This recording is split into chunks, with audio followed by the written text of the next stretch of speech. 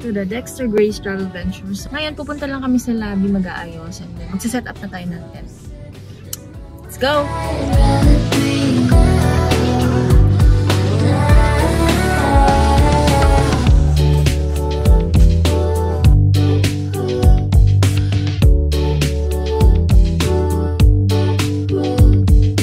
Yung rates nila i lagi ko na lang sa baba or sa screen.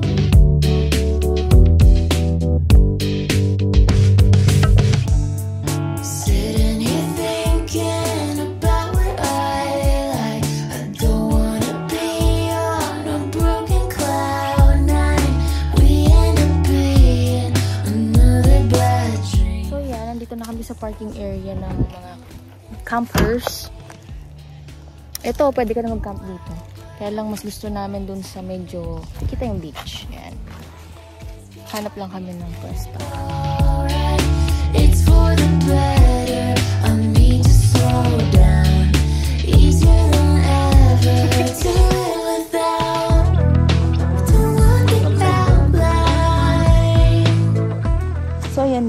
Um, napag-desisyonan namin na dito na lang sa camp campsite. Ayan. Kasi dito na yung sasakyan eh. So mas madali na lang. Ang layo ng camp, campsite 4. My God. Hindi na makapagsin dito sa pagod. Ang layo te. Napawisan ako. So dito na lang tayo sa campsite. Let's go. Ito yung pinaka, isa sa pinakamahirap na part ko. So maglilipat ka ng gamit. Nakita niyo naman yung gamit namin. Pakita ko sa inyo. Kung gaano karaming gamit namin. Ito, and then, ito. Yan. Nililipat namin isa-isa. So, we'll get back to you. Magbubuhat muna kami. See you later. Video. So, yan guys.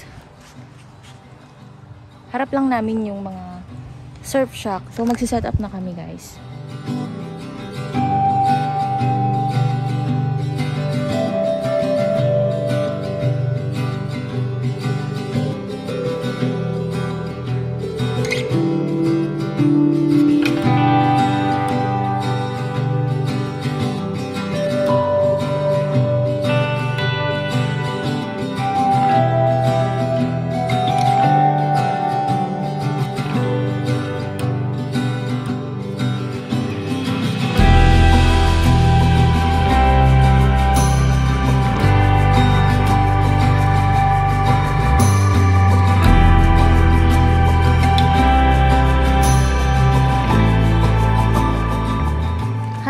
So yan, tapos na kaming mag um, set up.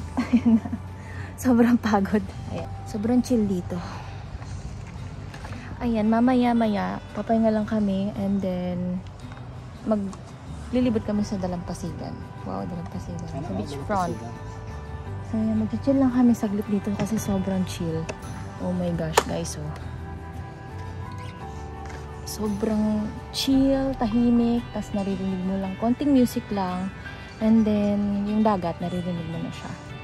Tinry ko yung bagong kutsyon namin, kasi may bago kaming kutsyon, ninakaw ko lang yun sa lola ko. Actually, binigay niya lang. So yan, meron na kaming kutsyon, hindi na katulad dati na sahig-sahig lang. Ayan. Kung napapansin niyo, tinatamad akong ano eh, mamaya na lang.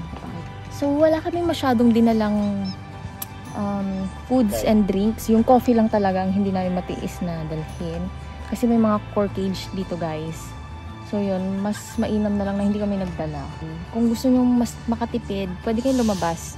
May mga restaurants naman dito eh, na malapit. So meron silang restaurant. Ito katabi lang namin. Ayan guys. Etong pitch on tent is 1 1,350 per head. So pricey siya guys, pricey. Pero tignan mo naman yung lagayan ng mga tent. Ano siya, may privacy. oh, may privacy ka naman and then um, free breakfast na siya and ayan, lahat ng amenities, yung mga kabana dun sa tapat ng dagat, mga ganun ba. So yun, medyo pricey unlike dun sa kwentong dagat na 350 lang yung pitch ng tent. So yan, parang matagal na kasi namin gustong pasyalan talaga tong Crystal Beach kaso dahil nga um, kuripot din kami. Ayan, hinintay na namin magkakaroon ng pitching tent. Kaya nag-tent na lang kami. Dahil meron naman pala.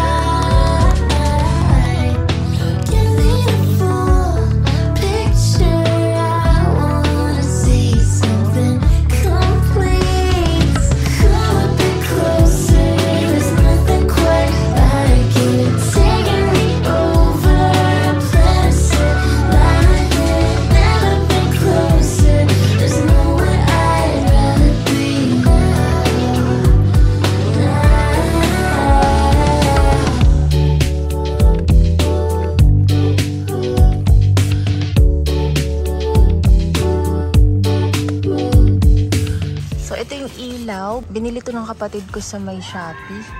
So, may mahina, may, sample mo nga, may mahina, may malakas yan guys. Tingnan mo. At, and merong SOS kineme. Ayan. Are, are, are. Isa pa, oy. Yan yung malakas. Tapos, yan. Tapos yan, may dalawa kaming electric fan. Binili namin yan sa Firefly. Tapos yan, ito yung gamit namin. Ito yung higaan.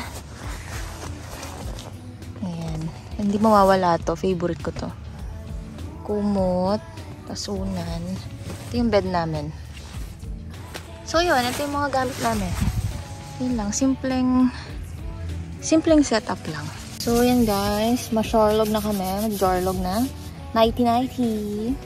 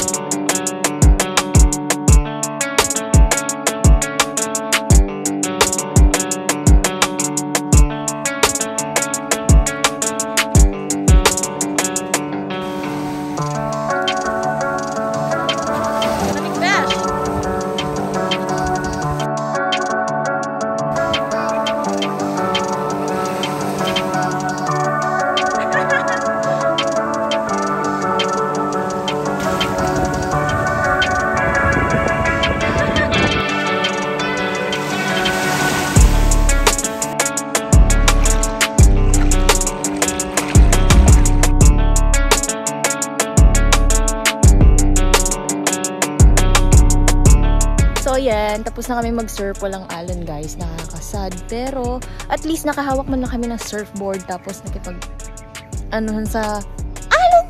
Konting alon. So Alon? yan, maliligo na kami and then magbe-breakfast na. Let's go!